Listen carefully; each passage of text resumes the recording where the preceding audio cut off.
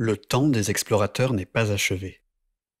On pourrait croire, en regardant trop hâtivement nos cartes du monde, qu'il n'y a plus rien à découvrir, que chaque parcelle de terre a été arpentée, chaque désert traversé et chaque montagne vaincue.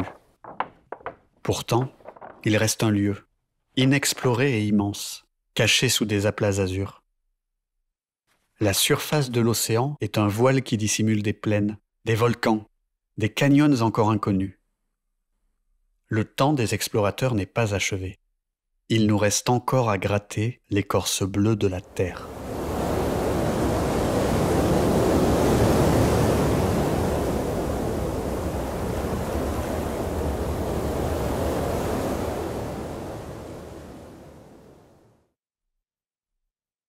Le jeudi 5 mai 2022, à Ponta Delgada, dans l'archipel des Açores, une équipe scientifique internationale a embarqué sur le Pourquoi pas, prestigieux navire de la flotte océanique française opéré par l'Ifremer.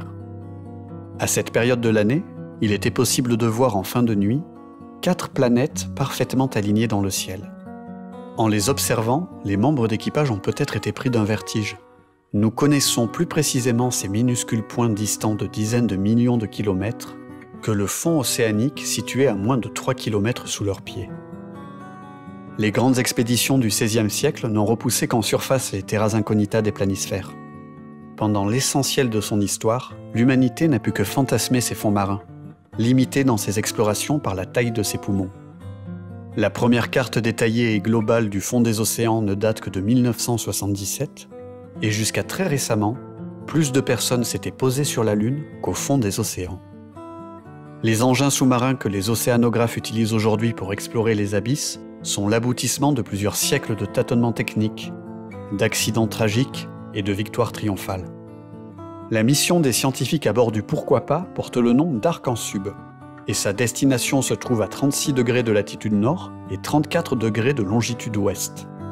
À cet endroit se trouve un massif montagneux qui n'apparaît pas sur la plupart des cartes. Il a été découvert en 1997 se nomme Rainbow et se trouve au milieu de l'Atlantique, sous 2250 mètres d'eau salée. Pour explorer Rainbow, les chercheurs et les chercheuses ont utilisé un ROV, un véhicule sous-marin téléopéré.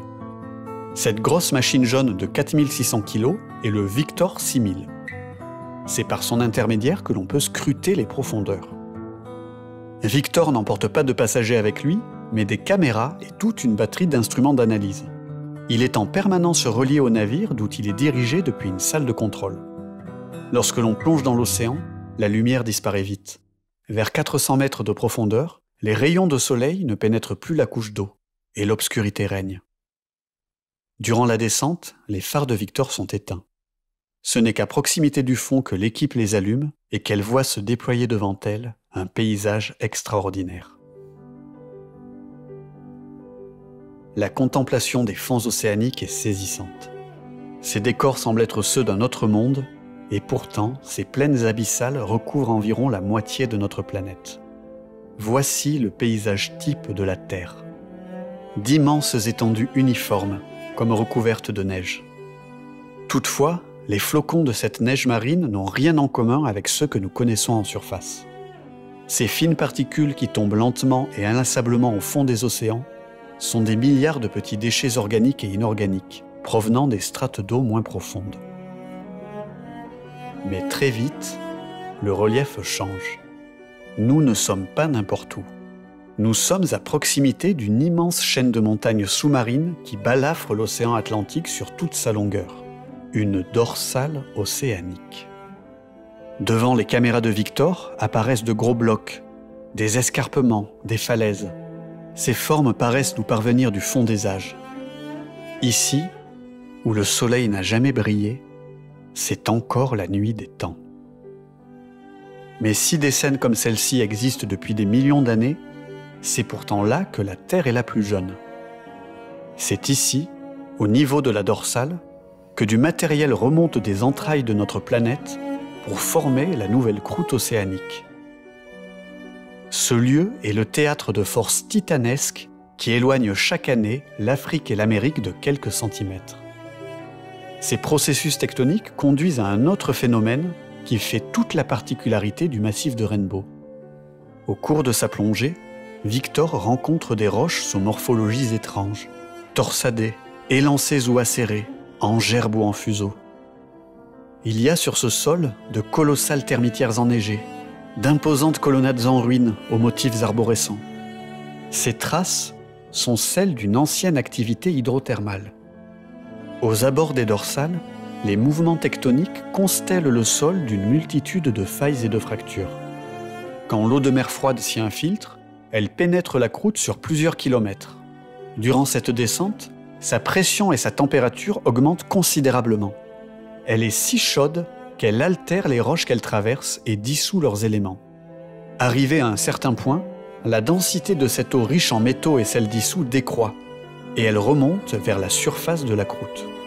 Quand ce fluide se retrouve soudainement dans un environnement d'environ 3 degrés, ces éléments dissous cristallisent au niveau de la source, formant ces grandes cheminées. Ce sont ces sources hydrothermales qu'étudie la mission Arc-en-Sub. L'un de ses objectifs est de retracer l'histoire tectonique, magmatique et métamorphique de cette région. Pour cela, elle ne va pas seulement s'intéresser aux cheminées fossiles comme celles que nous sommes en train de voir. Elle va aussi chercher des plans de failles pour reconstituer les mouvements passés du relief, ainsi que des roches magmatiques comme ces laves en coussin.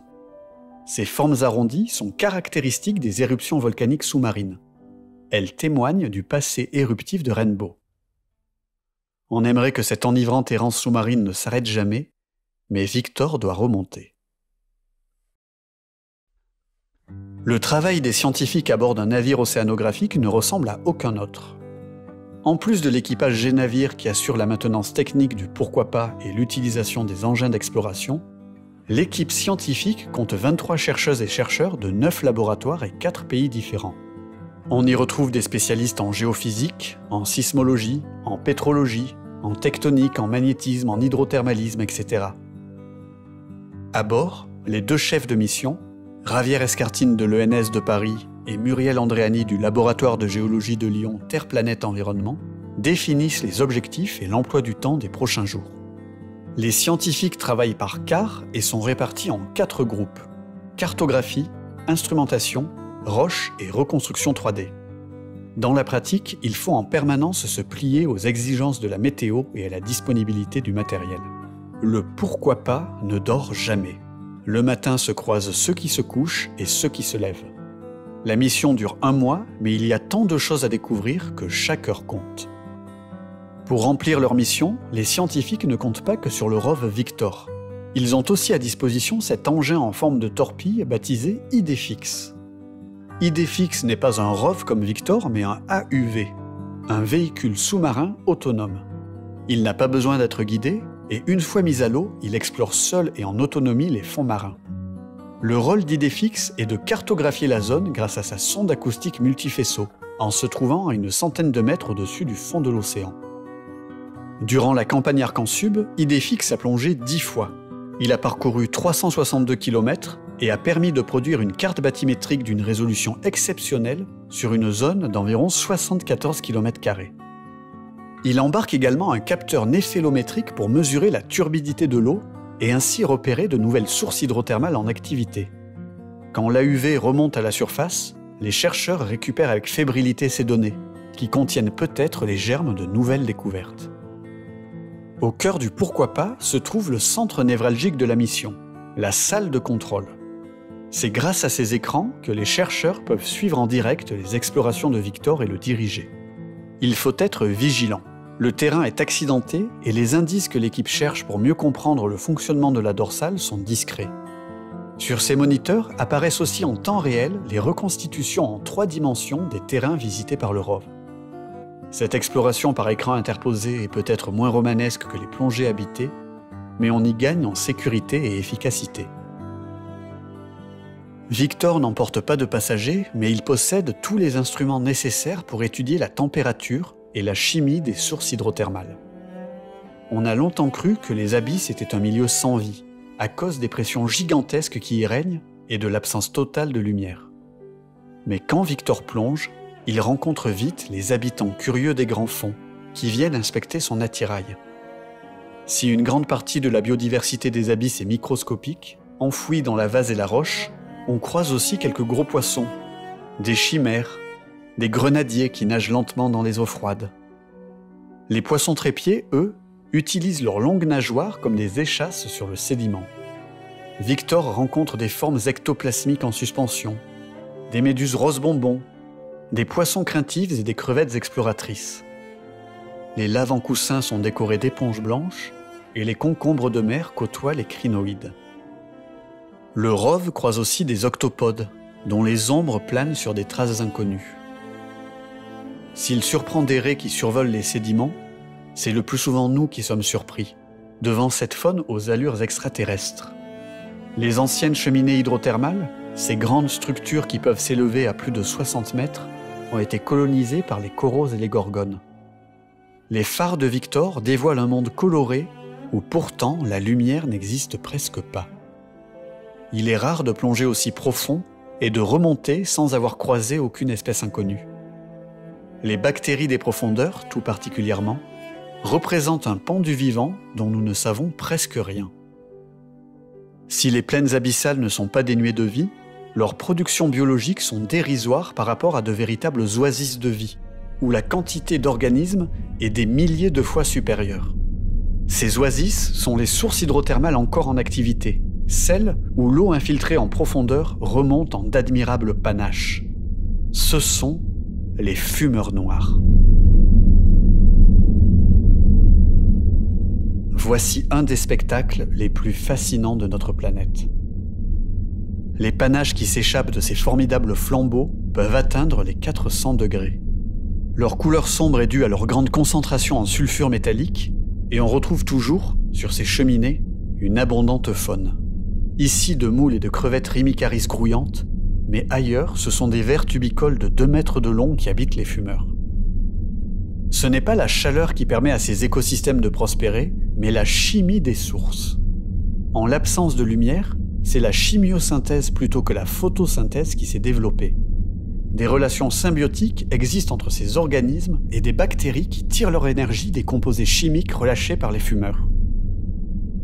Cette cheminée de Rainbow était déjà connue, mais la campagne Arc-en-Sub a permis de découvrir de nouveaux sites hydrothermaux, actifs et fossiles.